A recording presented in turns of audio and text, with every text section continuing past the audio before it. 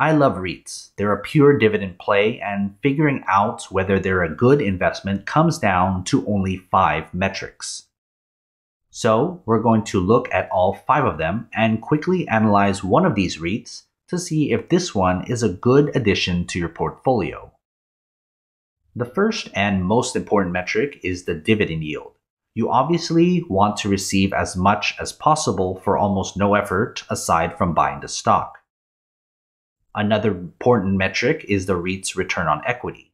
A high ROE tells us its profitability and its leverage impact. Ideally, we want the funds from operational metrics, but that's harder to figure than the ROE.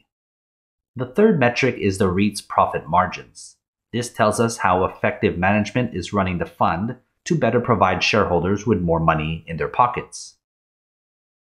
The fourth metric is the REIT's return on investment.